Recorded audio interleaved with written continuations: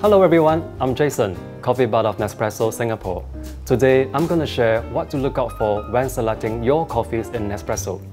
We have more than 29 coffees, but how do you choose the coffee you love? In this session, we'll look at three key considerations during your selection.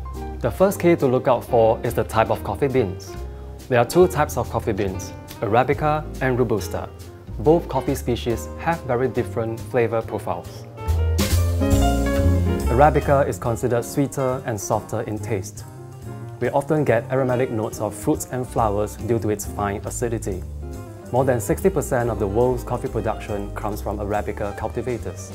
On the other hand, Robusta is considered stronger and harsher in taste. It is widely used in espresso blends for a fuller body with grain-like overtones and a nutty aftertaste. It is hardier, produces better yields, and also packs more caffeine. The second key is roasting. Roasting coffee is an art. Poor roasting can destroy the best coffee, and the same coffee can have different taste profile depending on the roasting techniques. Before roasting, coffee beans has a very grassy vegetal aroma that is nothing like what we recognize as coffee.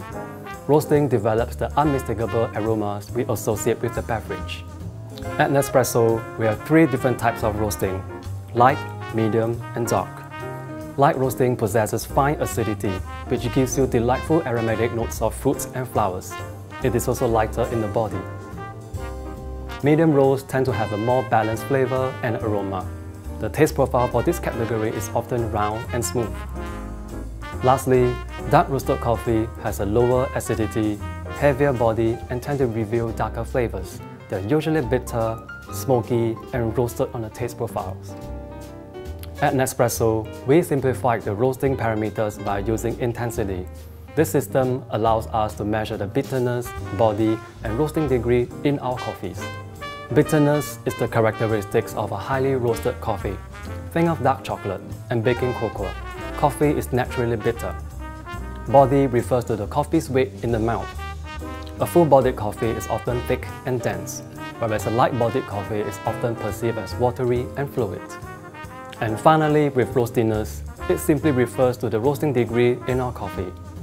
I hope this simple roasting guide has helped you to understand roasting a bit better. Lastly, let's talk about the aroma of coffee. In the world of coffee, there are more than 900 words used to describe the different aromatics. At Nespresso, we simplified them into three main aromatic families, the intense, balanced, and fruity. With the intense category, you can expect dark, powerful roasting with earthy aromatic notes of wood and spices. For the balance, you will smell cereals, toasted grains, and oats. And lastly, for the fruity floral range, you may get aromatic notes of citrus fruits, berries, and flowers. But where do these flavors come from? The fragrance and flavor of the coffee stems from a few different factors. One important factor is the country of origin, the place where coffee is grown. At Nespresso, we source coffee from 14 different countries. Each country has its own specific flavors and attributes that can be tasted and recognized. Let's explore three different coffees from some of the world's most renowned regions and find out how different their aromatic profiles are. The Nespresso Master Origins has five unique coffee experiences. Each of these coffee has its specific process or harvesting technique that makes it different from the rest of the range you get the best of a country in a cup. The first coffee I'd like to share is the Master Origins Ethiopia.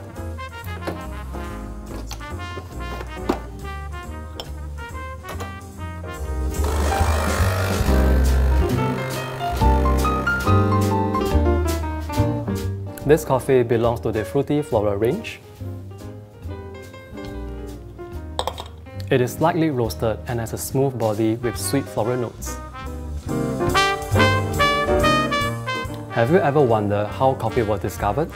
Kaldi was a goat herder who discovered coffee after witnessing how energetic his goats became after eating the cherries.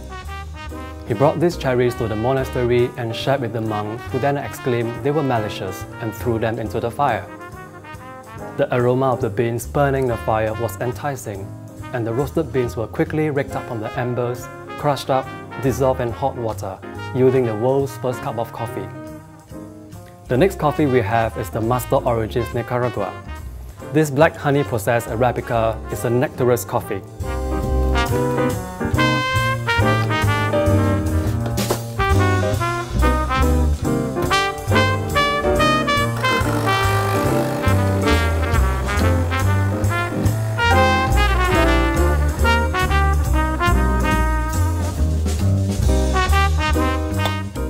Goes through a medium and short roast which gives us smooth honey texture and sweet cereal notes, which are flavor profiles from the balanced range.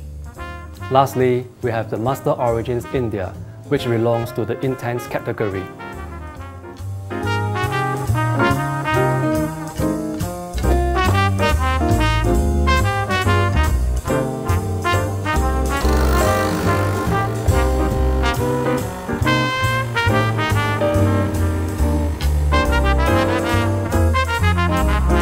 This range goes through a long and dark roasting, which results in a full body and syrupy cup. Master Origins India owes its wild taste to the unique monsooning process, where the coffee beans spend months facing the sea winds, developing beautiful woody spice notes. Hmm, I'm gonna go with the India because I like my coffee intense and woody. What about you? I hope this session has helped you to understand a bit more about our coffee and what to look out for when you're selecting one for yourself. To discover more about the range of coffees in Nespresso, speak to our friendly coffee specialists in our boutiques or visit our website. Thank you for joining me and I'll see you soon.